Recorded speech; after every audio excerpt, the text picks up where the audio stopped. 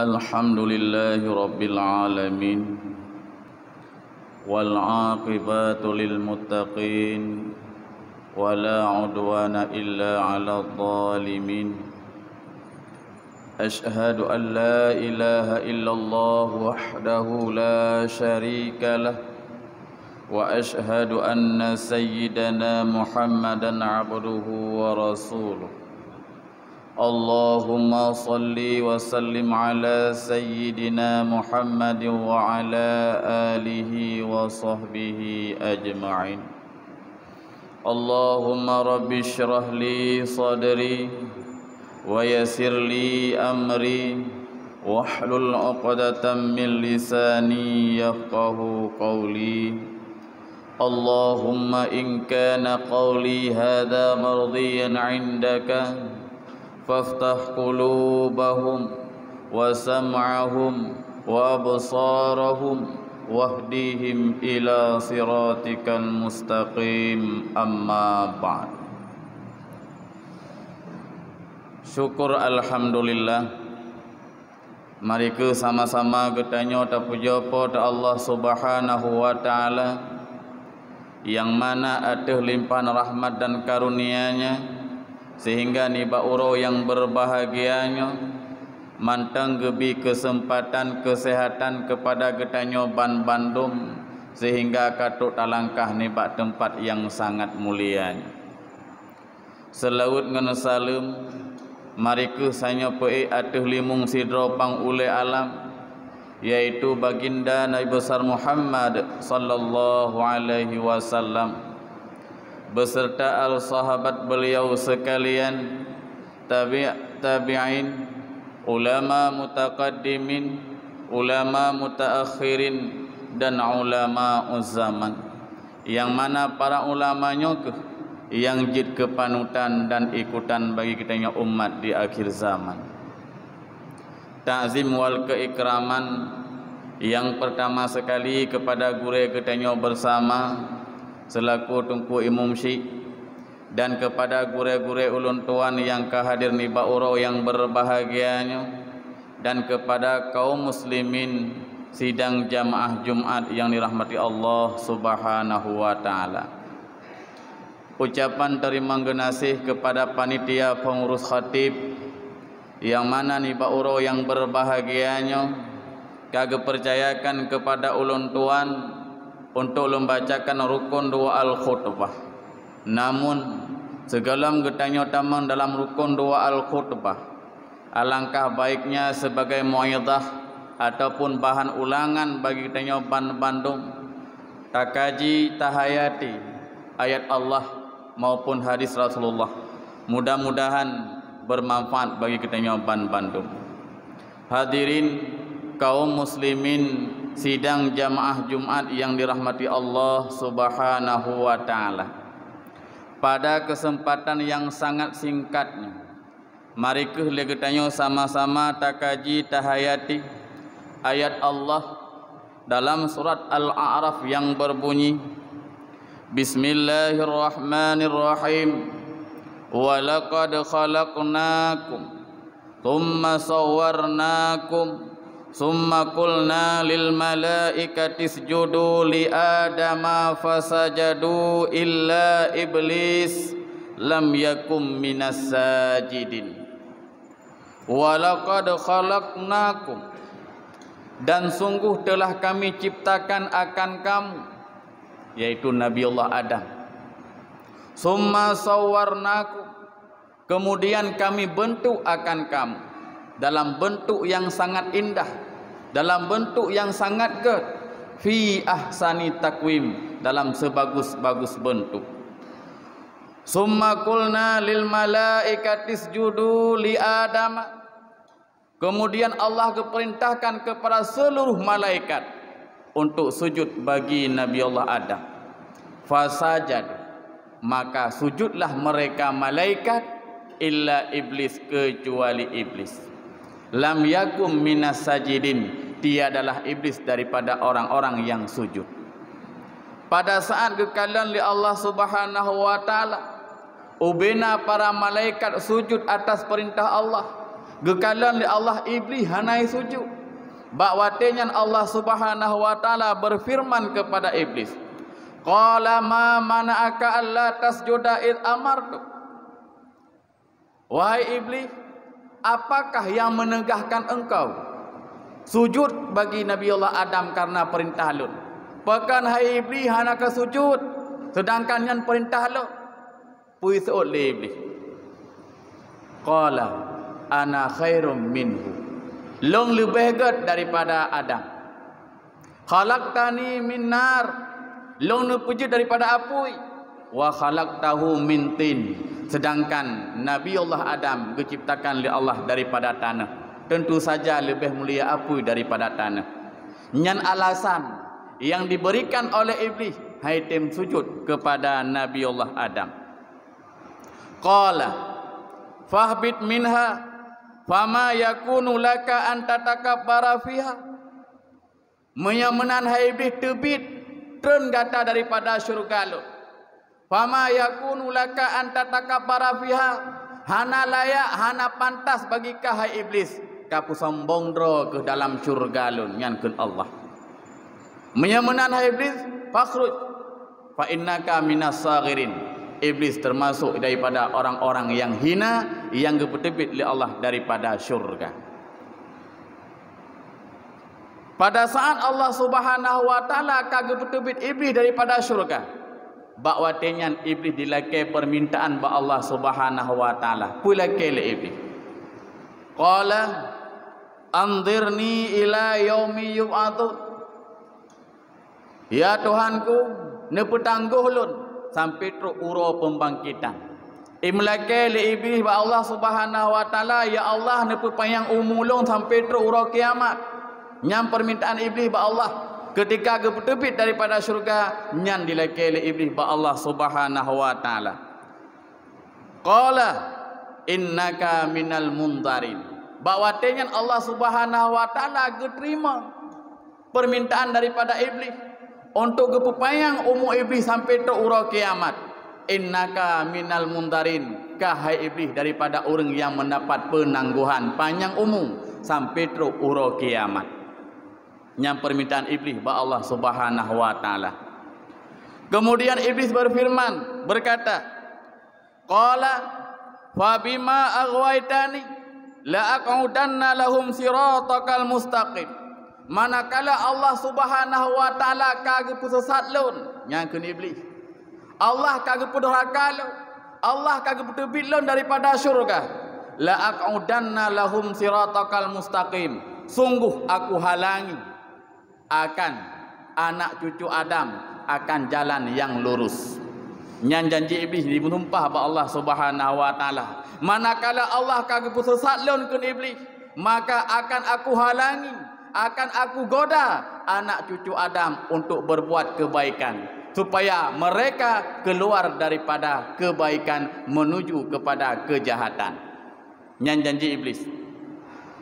Pakai cara iblis jak goda anak Adam. Summa la'atiyannahum min baini aidihim.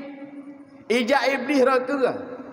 Wa min khalfihim ija rat likut. Wa an aymanihim ija rat unun wa anshama ilihim dan ijarab lahwi wala tajidu aksarahum syakirin dan tiada engkau dapatkan akan kebanyakan mereka itu yang bersyukur iblis ketika digoda anak cucu Adam yang pertama digoda ijarab ke katanya. Ketika hana mempan ijarab ke ijarab likut katanya. Ketika hana mempan ijarab likut ijarab dahunun katanya. Hana mempan ijarab unun ijarab uye katanya. Petbah penjuru syaitan ataupun iblis digoda manusia dalam berbuat kebaikan. Yang janji iblis. Sehingga letak lagi tanya utakalan daripada hamba Allah. Hana bersyukur kepada Allah subhanahu wa ta'ala. Pekan yang, yang diharapkan oleh iblis. Getanya tua tu. Getanya diciptakan oleh Allah subhanahu wa ta'ala. Gebi harta oleh Allah kepada getanya. Lalu dia dengan harta ketika kita tanya hana harta sibuk lagi tanya tak minta harta ketika gebi harta lalu kita tanya bak tak jaga harta tak ibadat pajak itu semua karena kenang daripada tipu daya syaitan kepada getanya Bandung. Apakah syaitan tidak pernah bertobat? Tobat. Nilai ke ampun ba Allah, nilai ke ampun ba Allah. Sebuah riwayat menjelaskan yang mana iblis ditipu yang bahawa Nabi Allah Musa merupakan sidro rasul, sidro nabi yang sangat tahu dengan Allah Subhanahu wa taala. Dapat bermunajat langsung dengan Allah Subhanahu wa taala. Bahawa dengan ijaklah iblis bak sabah hurang merempak dengan Nabi Allah Musa. Ketika merempak dengan Nabi Allah Musa, ikut iblis. Hai Nabi Musa, ni bantu ulung dia. Puluh bantu. Gatanya kan sidra orang yang sangat tahu dengan Allah Subhanahu wa taala, nya gatanya kan dapat berkalam langsung dengan Allah Subhanahu wa taala, nya orangnya ne bantu long si ane lake ba Allah Subhanahu wa taala. Puluh lake. Ne lake ba Allah bagi pampun dosa lom bagi terima taubat lom. Nyan mantan ne lake ba Allah Subhanahu wa taala. Nyan permintaan iblis ba Nabi Allah Musa. Sehingga Bak dengan orang Nabi Allah Musa bermunajat dengan Allah Subhanahu wa taala. Gekul Nabi Musa, ya Allah ya Tuhan, pu yang long maksud ron lebih tu pu. Yang mana iblis hijab bak lu. You doa bak lu. You melakai bak lu bak ron ya Allah Subhanahu wa taala. Benar pampun dosa iblis dan benar terima taubat iblis. Nyan kun Nabi Musa. Gus oleh Allah Subhanahu wa taala, hai Musa, ne pegah bak iblis. Lon terima, lon ampun dosa iblis, lon terima taubat iblis, tapi dengan sabuh catatan. Ijak bak kubu Nabi Allah Adam disujud bak kubu Nabi Allah Adam. Yang syarat yang kebila Allah. Sehingga sehingga orang menumpahlah Nabi Allah Musa dengan iblis. Kita yang le iblis kiban Musa, bukan le menumpak dengan Allah, kada nak melaki ba Allah, kalau kiban demang jawapan kebila Allah Subhanahu wa taala, Menau hai iblis. Allah Subhanahu wa taala ge pampun dosa gata. Allah Subhanahu wa taala ge terima taubat gata. Tapi na syarat. Putra syarat ja bak kubu Nabi Allah Adam ya sujud bak kubu Nabi Allah Adam. Puzo le iblis. Wa teu te mau tem sujud pulang ka mate. Menyemenan hai muta. Long tetap han long sujud bak Nabi Allah Adam. Man karena gata uronyo kana bantu lon. Karena mendoa ba Allah Subhanahu wa taala bagi pampun dosa lum bagi terima taubat lum. Orangnya hai Musa lum wasit bagata. Lum pegah bagata hai Musa. Na leboh perkara ni ingat ke lun. Bak leboh tempatnya. Bak leboh tempatnya habis-habis na lun. Nyan wasiat iblis kepada Nabi Allah Musa. Geteng le Nabi Musa putra teman le perkara nyan hai iblis. Udhkurni ila salasin. Tak ingat dia kata kelon hai Musa bak leheboh tempat. Yang pertama udhkurni hina tagzabu.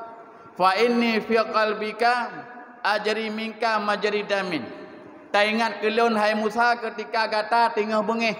Yang mana long long duk bahati kata. Long jak kata rat tempat ili darah. Mengai tak kalian lagi tanya orangnya ketika manusia tengah bengih inan ke itamang syaitan digoda manusia tersebut untuk keluar daripada kebenaran ketika mata kamera urat taku kai bedah nyah na puta pagah bahawa tenyan itamang syaitan dalam tubuh ji sehingga pu kebaikan yang dia sampaikan hanai terimang li orang-orang yang bengih antara tetangga pakon sebab gara-gara bengih Orangnya cerai lah kau dengan permoh pun sebab gara-gara bengih. Karena bawa dia tengah bengih, iblis ijak bak diri getanya. Dalam hadis disebutkan, yang mana bak sabah hurau, teruk sidra pemuda merempak dengan Rasulullah Subhanahu Rasulullah sallallahu alaihi wasallam. Ketika sidra pemudanya merempak dengan Rasulullah, gebi zalim. Getanya oleh Rasulullah. Hai pemuda putra Nahajat kata ajak kenal. Meno ya Rasulullah, Nabi nasihat kelun nyan kun pemuda. Kata oleh Rasulullah la taqdab be gata bengi. Kita yang lem le pemuda ya Rasulullah Nabi nasihat kelun la taqdab be gata bengi. Kelehega ya Rasulullah Nabi nasihat kelun tetap jawaban yang gebili Rasulullah la taqdab be gata bengi. Lega pertanyaan yang diulang oleh pemuda, lega jawapan yang diulang Rasulullah dengan jawaban yang sama. Bukan dengan sebab bengihnya ke relah getanya manusia. Dengan sebab bengihnya ke le getanya karu dengan tetangga. Dengan sebab bengihnya karu antara ado dengan adun. Dengan sebab bengihnya le getanya putus silaturahmi. Makanya tak ingat begat ketika bengih le getanya inan ke itamang syaitan bak tubuh getanya sehingga getanya hantar terima le iaitu kebaikan. Yang yang pertama. Sedangkan yang kedua, udhkurni hina talqiya dua. Yang kedua, tak ingat le gata ketika gata merempak dengan musuh fi jihadin ketika berperang. Ketika getanya Pak Masa Rasulullah sallallahu alaihi wasallam jamu perang pedang agama Allah suatu pahala yang sangat besar. Menempa pahala syahid. Hingga ijak iblis digoda katanya nyambek kajak. Nyamnya kajak yang pertama harta tinggal. Nyam mati kah tengok harta cok le wali mandu be kajak mu perang me kajak mu perang perumoh ki cok le kau anak anak songi. Harta dipelemah le iblis kepada katanya sehingga hati katanya han jadeh le berbuat kebaikan. Digoda le iblis sebagai contoh yang paling ubud lempegah ketika getanya tak terbit dari rumah mana? Tentai lagi dia nak tabah sedekah untuk dapat solam celeng? Ketika lagi dia nak kasat nyoro nyoro lumbuh sedekah 20 ribu lan celeng masjid? Ikun beli bet 20 ribu. Nyan sara ka terbit ente kaduk bagi dia kopi ka belah rukuk mantap bungkuh. Yang lebihnya ke kabuh masjid. Paduk tinggal 2 ribu 2 ribu buh masjid. Yang lebih banyak happy Pokok karena iblis selalu menghalangi manusia dalam berbuat kebaikan. Yang tugas daripada iblis. Ngaji lagi tanya orangnya kadang-kadang merasa cinta kepada harta. Getanya ia tak korbankan harta untuk jalan agama. Lebih-lebih lagi tanya tiga minggu tu kata tamang bak sabah uro. Yang mana uro yang na le uro put uro yang kepilih Allah uro yang sangat bersejarah dalam agama Islam. Yaitu disunatkan bagi kita yang na harta untuk berkorban. Kadang-kadang leknya yang na harta yang le kali tun berosa hana kurban le tunyo. Padahal sunatkan kita nyo berkorban bagi kita nyo yang na harta tip tun disunatkan bagi kita nyo untuk berkorban. Bena tengat kali tun berosa hana pakai le tunyo. Rasulullah selama udik Rasulullah tabi sali tabi tabi berkorban. Kan kedrog sampai truk ke umat Rasulullah berkorban. Itanya orangnya yang na harta kenang tipu daya daripada syaitan ketika kita nahut dalam hati itu.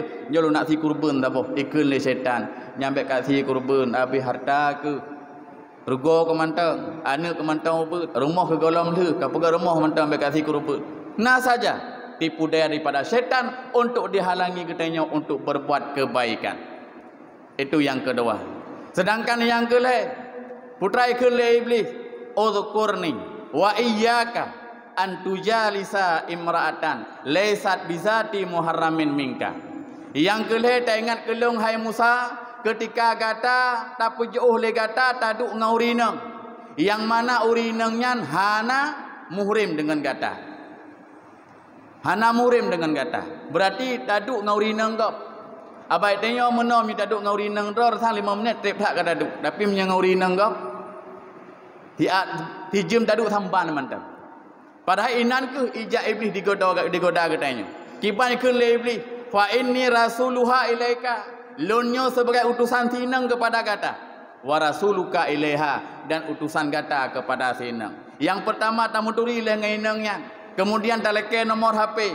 Kemudian tak WA. Kemudian tak telepon dan sebagainya. Sehingga berang, berlanjut kepada perbuatan zina. Itu semua godaan daripada syaitan. Leboh tempatnya akan selalu dijak iblis untuk digoda manusia di dalam berbuat kebaikan. Jangankan ketanya yang manusia biasa. Gih, hidro ulama besar yang bernama yaitu Syekh Barsisa. Yang mana gebi kemuliaan oleh Allah kepada agaknya. Yaitu jumlah murid agaknya mentang 60 ribu Jumlah murid Syekh Barsisa. Kemudian kelebihan yang gebi Allah kepada murid agaknya. Yaitu jut ipa langit. Anda pakai Honda nyamban kemuliaan yang kebila Allah kepada Syekh Barsisa selama 220 tahun beribadat kepada Allah Subhanahu wa taala tetapi berakhir kehidupannya mati dalam keadaan hana iman kepada Allah Subhanahu wa taala pekon karena kenang tipu daya daripada syaitan singkat cerita ada pegah haju pekon Syekh Barsisa sampai koknya mati meninggalkan iman Ketika teruk iblis buat tempat gaknya. Dilakai tempat untuk ibadat. Sehingga gebi tempat le le Syekh bersisa kepada iblis. Gekalan bakwati malam Syekh bersisa ke ibadat. Iblis ibadat sih. Le uro le malam di ibadah iblis hana makan, hana minum, hana tengut. Sedangkan Syekh bersisa 220 tahun kaki ibadat kepada Allah Ta'ala ketika wate duk kepada Jobu. Ketika gerah ke JPI, ketika tengok ke istirahat. Iblis leuro le malam, hanai pajobu, hanai JPI dan hanai istirahat. Sehingga timbul pertanyaan Mbak Syekh Barsisa, getanya Mbak Iblis. Pakai bancara long ibadah berlagi gata. Pukul gata hana dapat jobu, gata hana ta JPI, gata hana ta eh, tinggal long kalian leuro le malam, hana ne pajobu, hana ne JPI dan hana ne istirahat. Yang kun Syekh Barsisa Mbak Iblis. Hai Syekh, Lonyo sidra orang yang udip dalam dosa. Pada saat long ingat kepada dosa yang long pubut jamun sehingga gadah dek pada diri long. Gerah-gerah hanali tengok-tengok hanali pokon karena long dosa long ingat kepada dosa yang pernah long lakukan long tua kepada makanan, minuman dan istirahat. Mamputra man dosa yang debut lagi kata yang supaya long menempak mangat ibadah lagi kata. Tamu tina, oh nyahan. Rakyat dosa. Menyahan datang Medina berarti tak pohurung nyampihan. Menyan dosa rayuk si. Menyan menang menang mentang. Dosa ya uput putra. Jeb bir minuman yang kerah memabukkan. Pak tacau katanya. Nyan kun le le iblis. Engke kun le Syekh Barsisa. Nejak ibat tempatnya inan naik mekat. Bedahlah Syekh Barsisa jak ba tempat yang pegah le iblis menong. Sehingga bantrok pada tempat yang dipegah oleh iblis. Gekalan tu buat kedengan yang mekat urinang. Lagak tak urinang yang mekat. Tinggal bantrok kenang gekun oleh Syekh Barsisa. Nabi i mabuk. Ini bahasa kedenya. Gejuklah i kamar. Hingga gejep dua ni. Karena orang hantar pernah gejep i yang memabukkan. Baru dua ni gejep kan balik-balik ni mata. Kah? Hilang akal sehatnya. Bak wate kagadah akal sehat. Bak watenya Syekh Barsisa gemudina ngan urinang meno yang mekat meno.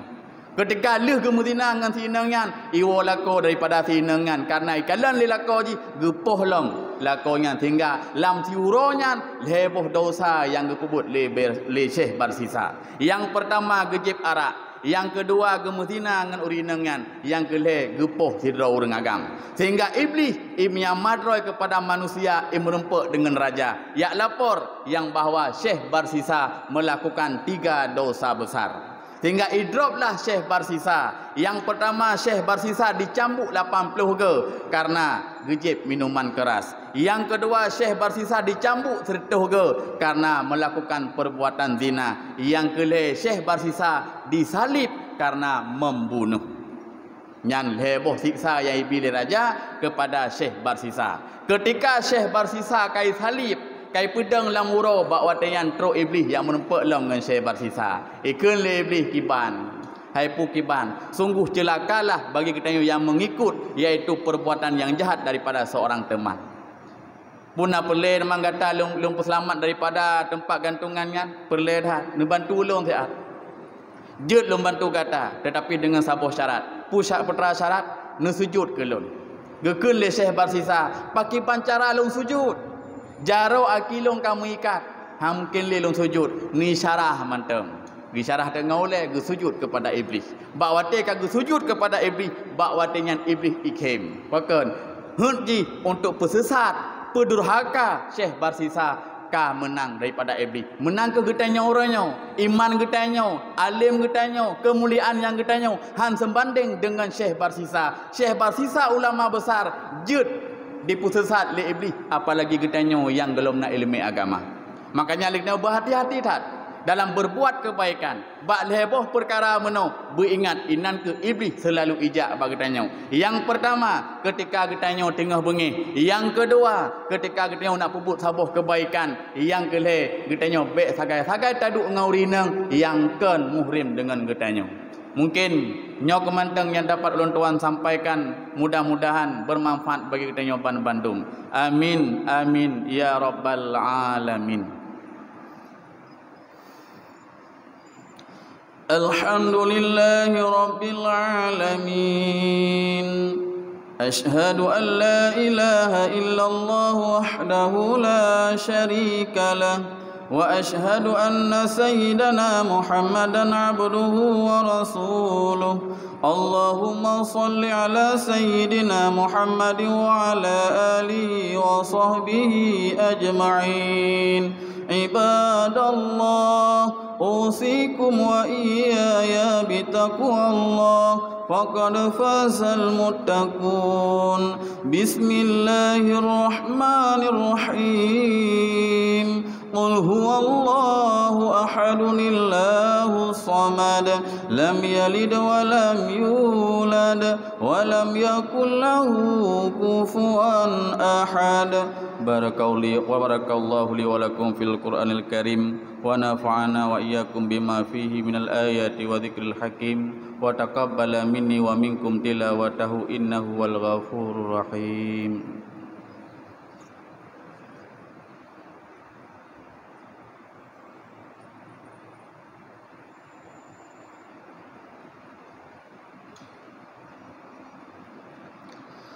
الحمد لله رب العالمين.